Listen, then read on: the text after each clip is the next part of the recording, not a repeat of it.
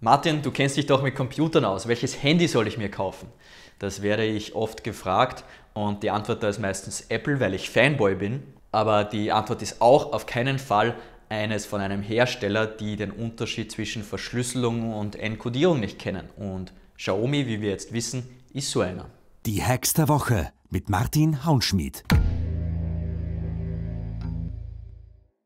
Herzlich willkommen zu den Hacks der Woche. Wenn man sich den Smartphone-Markt so ansieht, hat man auf der einen Seite sehr hochpreisige Devices wie das Apple iPhone, auf der anderen Seite sehr günstige Geräte wie zum Beispiel von Xiaomi, dem viertgrößten Handyhersteller. Da fragt man sich, ist Apple nur so überteuert oder gibt es einen Grund, warum die anderen Geräte so günstig sind?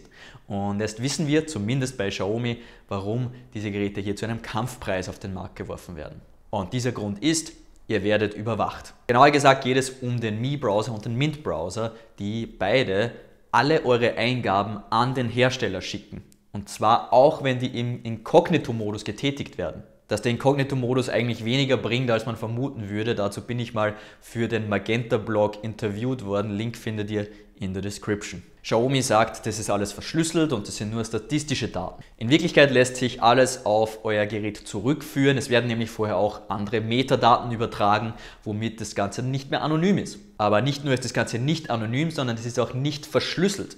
Es gibt einen kleinen, okay, eigentlich nicht so kleinen Unterschied zwischen Verschlüsselung und Enkodierung. Bei der Verschlüsselung braucht das Gegenüber vereinfacht gesagt einen Schlüssel, um die Botschaft überhaupt lesen zu können.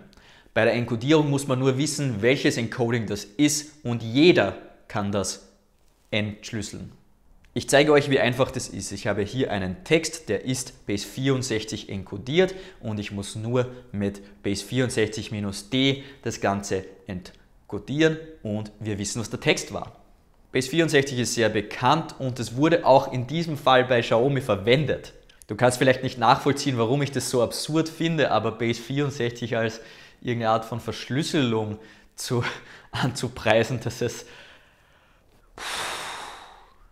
Aber ja, anscheinend hat man natürlich der Verwendung zugestimmt, als man das Ding gekauft hat bzw. den Browser installiert hat.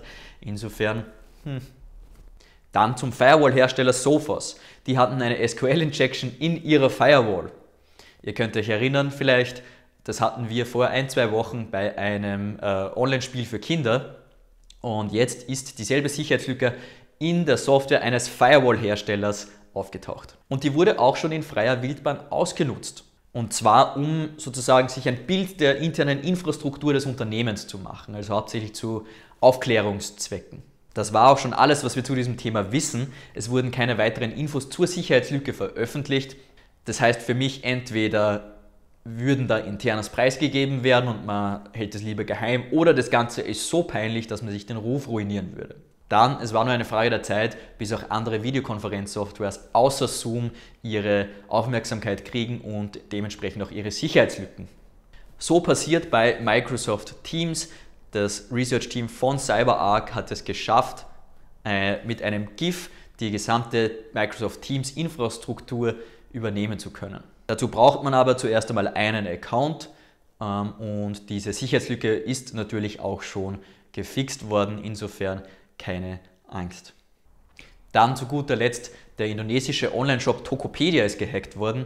91 Millionen User hat der und es wurden 15 Millionen davon zum Verkauf angeboten. Und zwar um die stolze Summe von 2 Euro.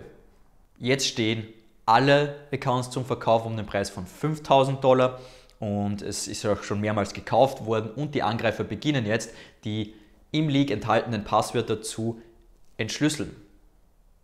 Mein Beileid geht jetzt schon an alle Personen, die in diesem Shop ein schwaches Passwort verwendet haben, das sie auch irgendwo anders verwenden. Das ist eine typische Vorgehensweise. Jedes entschlüsselte Passwort in so einem Leak wird einfach eins zu eins an anderen Plattformen durchprobiert. Das nennt sich Credential Stuffing und da wird einiges passieren in Zukunft.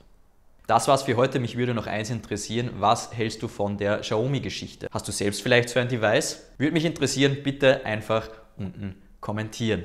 Die Hacks der Woche gibt es auch auf YouTube. Martin Haunschmidt heißt der Channel. Da würde ich mich über ein Subscribe freuen. Dann bleibt mir eigentlich nichts anderes übrig, außer euch eine schöne Woche zu wünschen. Bis zum nächsten Mal.